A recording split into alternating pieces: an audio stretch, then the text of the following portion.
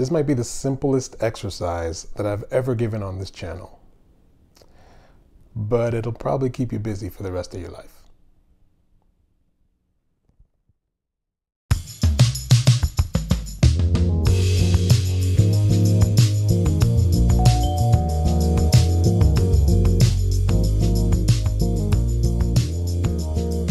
Hello, my friends and neighbors. Welcome back to the Brownstone. My name is Rich Brown. How are you? I hope you're doing very well. Hope you had a really great week. Uh, today, I'm talking about arpeggios. I'm just going to give you a really simple, super simple, but super excellent arpeggio exercise that is going to change your life. Huh? How about that? This is a sequential pattern that I give to all of my students. I've been giving them this uh, exercise for years and it's really great. And it's based on the simplest of ideas. It's an exercise that I call odds and evens. The reason why it's called odds and evens couldn't be simpler. We simply take the odd numbered notes, play them ascending, and then we take the even numbered notes and play them descending. And with that simple idea, you get not one, but two great arpeggios that you can practice. So let's say I take a simple G major scale. Huh? Now remember, for my G major scale, all I'm doing is I'm taking my four fret span, one finger per fret, and playing two, four, one, two, four, one, three, four. And then I extend that down to the G string and play one, three, four again. Two, four, one, two, four, one, three, four, one, three, four. Major scale no matter where you play it. So here's what we do. If I number those notes, I have 11 notes in this scale. 1, 2, 3, 4, 5, 6, 7, 8, 9, 10, 11 notes. And again, this exercise could not be simpler because here it is. This might be a really short video. here it is. Um, I just take the odd numbered notes going up. 1, 3, 5, 7, 9, 11. There I've got a nice G major arpeggio going up to the 11th. And then I come down with all of the notes that I missed, which just happen to be the even numbered notes. 10, 8, 6, 4, 2. And you know me, I like to play that major seventh below the root note, which allows me to turn the exercise into a loop. So how simple is this? Check it out. 1, 3, 5, 7, 9, 11, 10, 8, 6, 4, 2, and the major seventh below the root.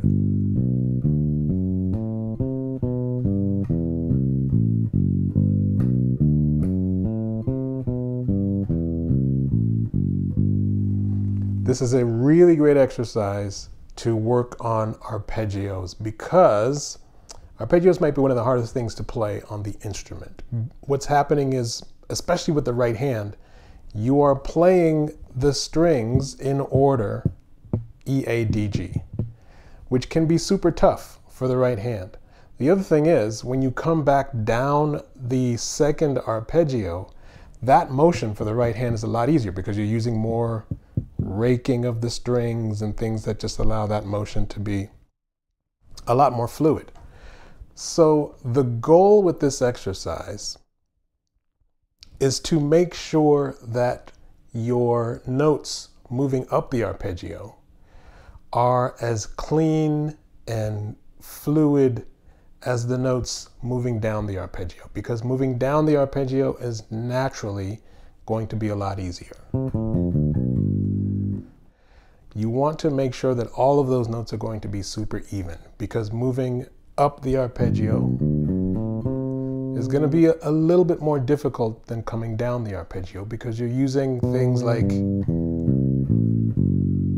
uh, rest strokes and raking of the strings and things like that that just allow for that motion to be a lot easier and more fluid. So the goal is to make sure that they are both equal, making sure that those notes don't change in velocity or intensity or clarity. They're all the same. Now, here's the really great thing about this exercise Because we're using the number system, odds and evens, that's all we're playing. The odd numbered notes going up, the even numbered notes coming down. We can do this on any scale, almost any scale. Things like bebop scales and certain diminished scales, maybe not.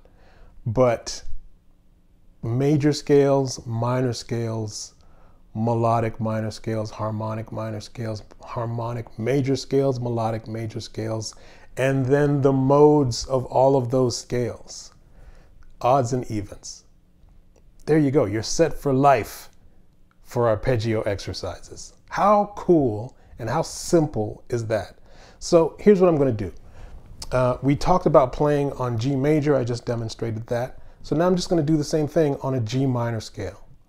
Again, each time you work with a different scale, you get two, two arpeggios for the price of no arpeggios. Here you go. So first thing to do, as always, map out the scale. If I'm playing that four fret span, uh, one finger per fret, the minor scale is as follows. If you remember, we've got one, three, four, one, three, four, one, three, five, one, three, five.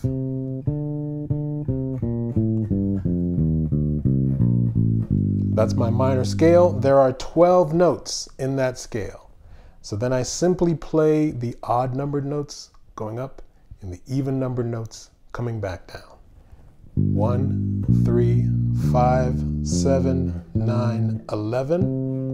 And then I go to 12, 10, 8, 6, 4, 2, and that becomes my exercise.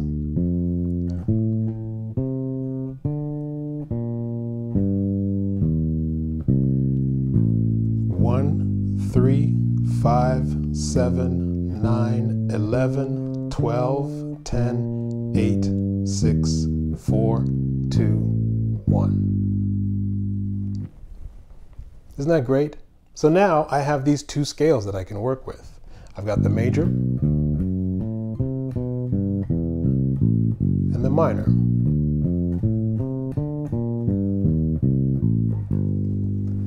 But again, we are working with two arpeggios. So another cool thing that you can do with this exercise is simply reverse the pattern.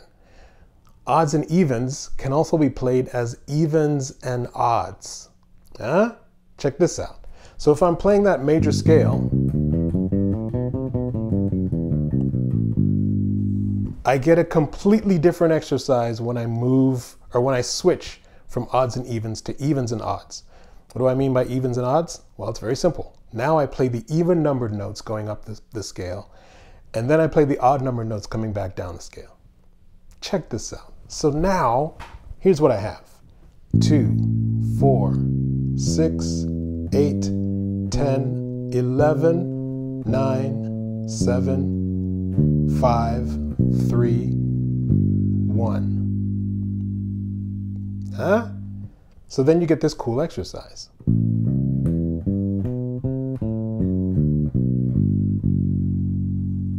When I play that one, I go down to the major seventh below the root, and then it becomes a nice little loop. So evens and odds 2, 4, 6, 8, 10, 11, 9, 7, 5, 3, 1, major seventh below the root, and then I get a nice loop.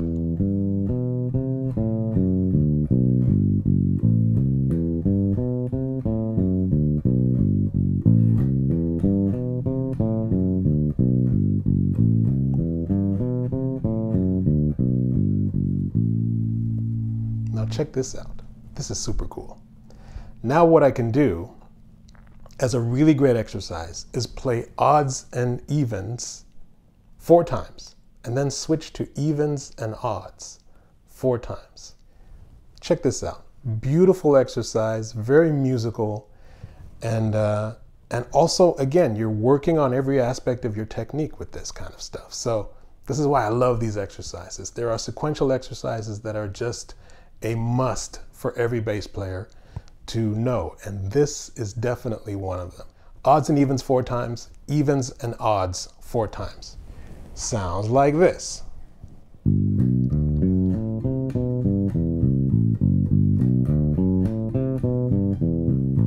Third time,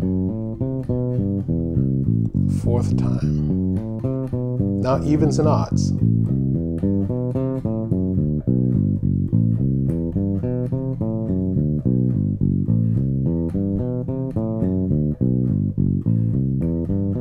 Now odds and evens.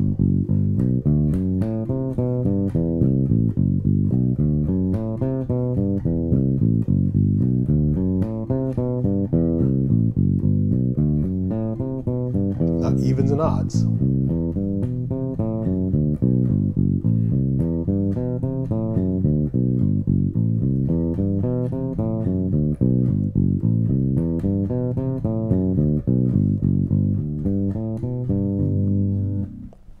How cool is that? Huh? Taking a very simple idea, odds and evens, evens and odds. Can it get any easier than that?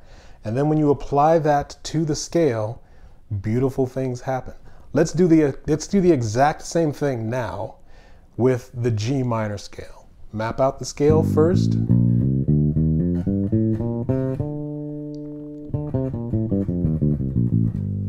And then get your two arpeggios.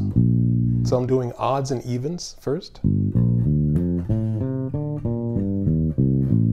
One, three, five, seven, nine, eleven, twelve, ten, eight, six, four, two, back to one. So now I've mapped out my two arpeggios. So let's just play through the exercise. Odds and evens, and then evens and odds. I'll take it slow.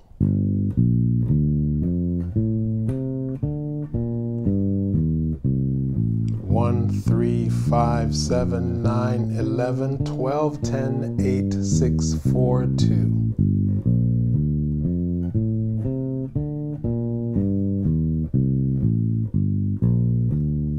Now I'll play evens and odds.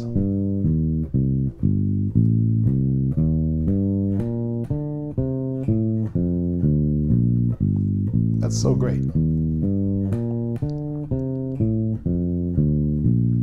Two, four, six, eight, ten, twelve, eleven, nine, seven, five, three, one. that was hard.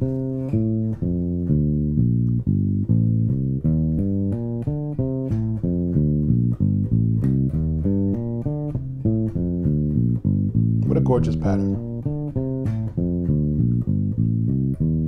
Now odds and evens.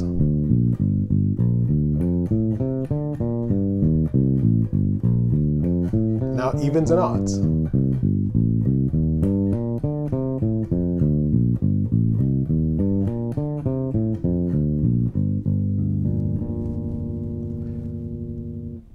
How about that? That's it. What a simple exercise, which is also a very complex and difficult exercise. I'm going to leave it there. I don't have anything else I can say about that, except to have fun with all of these exercises. I really love this one. It's uh, so beautiful and musical. And again, you're working on every aspect of your technique with the left hand and the right hand. Um, and it's just an enjoyable thing to play on the bass. And of course, you can set a metronome at any tempo you like and really work these ideas into the muscle memory and eventually into your vocabulary. All of these sequential exercises are great melodic tools and great uh, improvisational uh, ideas that you can use, whether you're soloing or, or constructing bass lines or what have you. And that is why I love them. There are no useless exercises on this channel. None. Zero. I refuse. So hey y'all, if you like this lesson, please do me a huge favor. Click like, share this video with as many people as you can um, who would appreciate it or not. And, um, and subscribe to the channel. The channel is constantly growing. It's amazing to see. Um, and it really keeps me going. The other thing that really keeps me keeps this channel going is um, your donations. So if you find some value in these lessons, then please do donate to the channel. I will leave the link in the description box below. Uh, no donation is too large or too small. Every cent is appreciated and uh, it allows me to keep these videos coming to you. I am having so much fun presenting this information to you and I'm having uh, such a great time reading all of your comments and your encouragement. Um, that is another thing that really keeps me going. So don't hesitate to say hi in the comment section. I love that. I read every single comment. Uh, I don't have the time to respond to everything, but I try. I try my best. That's it, friends and neighbors. Odds and evens till the cows come home. My name is Rich Brown. Thank you so much for visiting me here in the Brownstone today. Peace and love, and I will see you in the next video.